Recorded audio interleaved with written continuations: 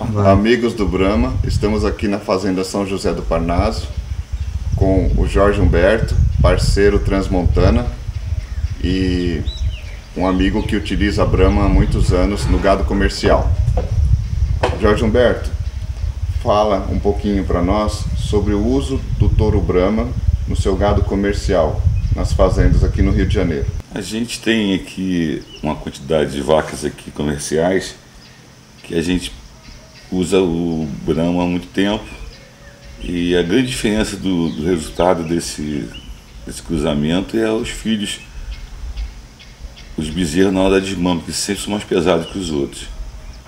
Então eu estou muito satisfeito com o Brahma, tanto na fêmea quanto no macho. O peso dele na desmama é muito, muito interessante. E você leva esses animais até a terminação? Você leva eles até o abate? Ah, levo sim, é, os machos sim.